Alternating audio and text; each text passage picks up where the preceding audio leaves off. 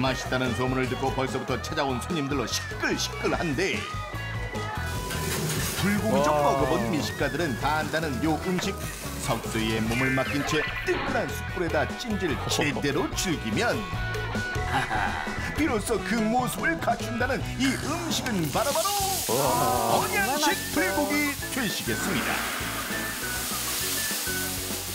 자글자글 소리로 설렘을 안겨주고 윤기 흐르는 자태로 기쁨을 선사는 언양식 불고기.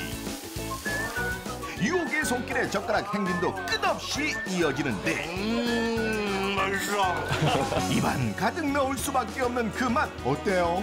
육즙이 나오면서 되게 부드럽고 그다음에 달달하고 짭조름하면서 입안에서 좀 어우러지면 되게 맛있어요. 와 맛있겠다. 와 대박. 소리도 맛있긴 하네요. 겉은 바삭 속은 촉촉한 매력이 일품인 언양식 불고기. 너릇너릇 먹음직스럽게 익은 불고기를 맛있게 먹는 방법부터 알려드려야죠. 아삭한 상추와 무쌈에 달콤한 고기 한 점 올리고 새콤한 파채를 곁들이면 말이 필요 없는 맛이라고요.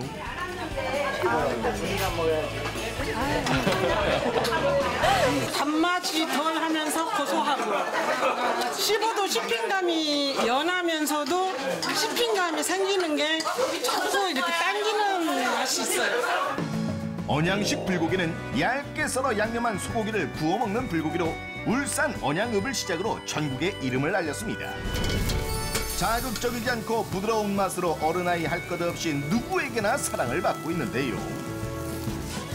가족끼리 먹기 좋은 음식이니만큼 집에서도 한번 따라해보고 싶을 것 같은데 혹시 도전해보신 적 있으신가요? 쉽지 않을 텐데요.